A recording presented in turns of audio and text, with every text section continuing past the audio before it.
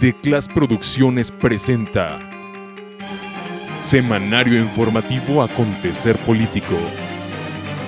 Un programa de investigación y análisis comprometido con la sociedad. Acontecer Político TV.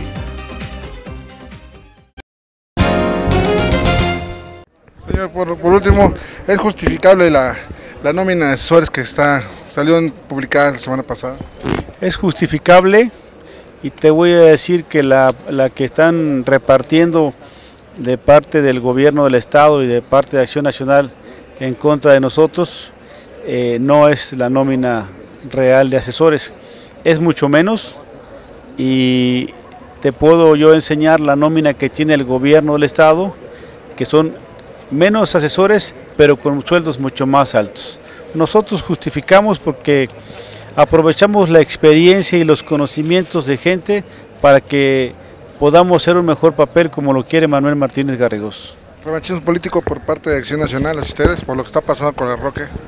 No, no lo veo como revanchismo, simplemente que ven a Manuel Martínez con posibilidades de ser el candidato a, a gobernador. Y te adelanto, hoy por hoy, Manuel Martínez será el presidente municipal que más obra haya hecho en los últimos 20 años por todos los recursos que está consiguiendo en la Ciudad de México. No, no, no mezclemos la cuestión de la dirigencia, la convocatoria está por salir. Yo eh, sigo impulsando hacia el interior del partido. Hoy lo platicaba con algunos diputados de manera informal que me encontré en el evento, que podamos abandonar nuestros intereses personales si los hay y que podamos avanzar en una planilla de unidad. Eh, el partido tiene una gran posibilidad de recuperar los espacios. A nivel nacional se dice que se van a ganar de las 12, 12. Y si no vemos la posibilidad que tenemos de recuperar los principales espacios, es decir, la presidencia de la República y la gubernatura, y si no nos ponemos de acuerdo y nos fracturamos, podemos tener eh, una posibilidad de que estos espacios no sean recuperados por el PRI. Luego entonces la invitación a todos a que se sumen, a que dialoguen a que logremos un candidato de unidad. No, no, no mezclemos la cuestión de la dirigencia, la convocatoria está por salir.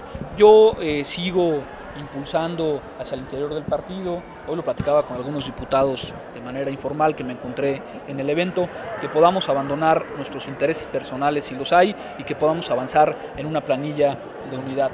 Eh, el partido tiene una gran posibilidad de recuperar los espacios. A nivel nacional se dice que se van a ganar de las 12, 12. Y si no vemos la posibilidad que tenemos de recuperar los principales espacios, es decir, la presidencia de la República y la gubernatura, y si no nos ponemos de acuerdo y nos fracturamos, podemos tener eh, una posibilidad de que estos espacios no sean recuperados por el PRI. Luego entonces la invitación a todos a que se sumen, a que dialoguen a que logremos un candidato de unidad. Gómez.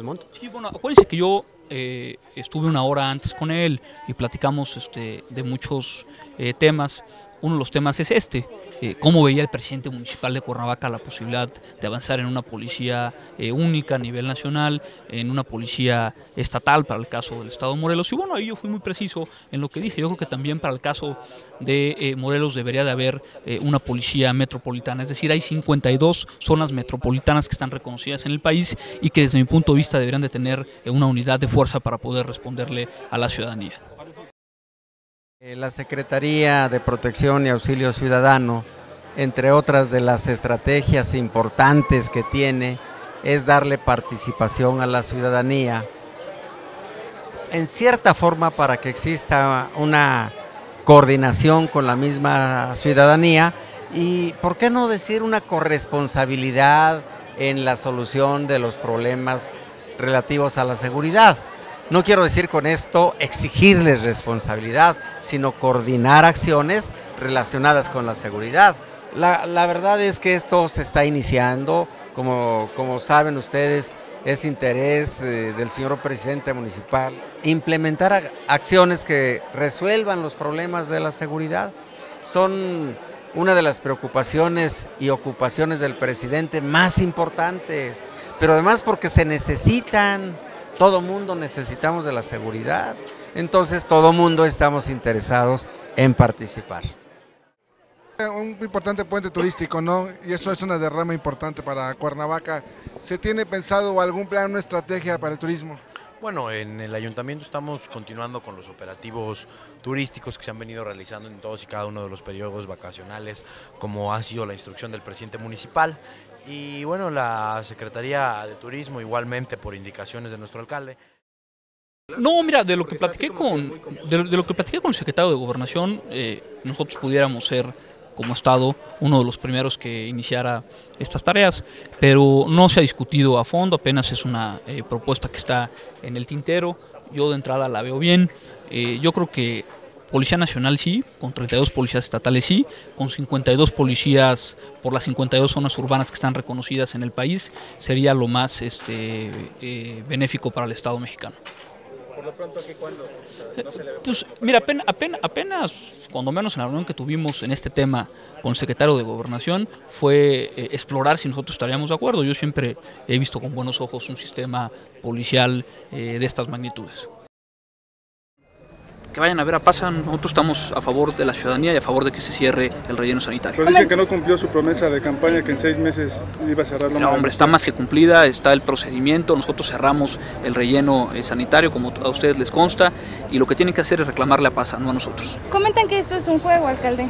Esta, este cierre momentáneo del relleno No, sanitario. respeto, respeto su decisión, pero no es así. ¿Qué, qué acciones va a tomar entonces? ¿Qué- Estoy esperando, estoy esperando lo de la uva y siempre en ese tema me he manejado como ellos lo han dicho en una estrategia jurídica. En tanto no siguen, este, no están circulando los camiones, este, la acumulación de los residuos sólidos, ¿va a ser un caos otra vez? No, eso es algo que tú estás suponiendo. Con nosotros no. Si gobernara el PAN sí, ya demostramos que no. ¿Queda claro entonces que el relleno sí se va a cerrar? Sí, claro que sí. Sí, eh, la norma ambiental es violada, sí, la UVA así lo dispone. Yo estoy seguro y cierto que así será, pero no me puedo adelantar porque eh, no soy adivino ni sé lo que pueda pasar con la unidad ¿Y verificadora si ese sí no se cierra entonces? Si en este supuesto, pues no, no podemos ir en contra de la norma. Entonces estaría ¿no? faltando la promesa que hizo de seis meses cerrar el relleno. Pero no faltaremos, eso sí, no te preocupes. No La promesa de faltaremos. campaña, pues. No, no, no faltaremos, no te preocupes. no hubo la visión de utilizar el recurso que el gobierno federal les da a los municipios para poder ser gastado y mejorar las condiciones laborales. Me refiero al subsemún. Y esto, aunque ya lo dije, que lo capten bien los medios de comunicación, Cuernavaca teniendo problemas graves en materia de seguridad, subejerció el Fondo de Seguridad para los municipios 2008 y 2009 y gracias a un gran trabajo que hizo el señor secretario de Protección y Auxilio Ciudadano Rogelio Sánchez Gatica y gestiones el presidente municipal, su amigo Manuel Martínez Garrigós, hizo ante la federación, hemos rescatado estos primeros 3 millones 337 mil 796 pesos que serán entregados en un bono de estímulo para que pueda ser gastado por los policías de. Mira, este, hay un ah, compromiso de, con la ciudadanía de ir haciendo las obras de infraestructura que se necesitan. Eh, se hizo un recorrido con el alcalde y se están cumpliendo estos compromisos de campaña. Se tomaron primero 50 obras de compromisos firmados eh, ante notario. Ya se, se cumplió con esta con esta parte en obras públicas y se seguirá cumpliendo con los compromisos que adquirió el presidente, que son compromisos firmados ante notario público. ¿Qué demanda que más han tenido? ¿Qué tipo de obra es la que más han Eh, pavimentación, pavimentación es la demanda que más se ha tenido. ¿Cómo calificas la gestión, de, no, no solamente el presidente, de todo el ayuntamiento hasta la fecha? Yo creo que vamos bien, bien es lo mejor, pero eh, yo creo que vamos muy bien en, en el tema de eh, la reacción que se ha tenido eh, conforme a las gestiones que ha recibido el ayuntamiento.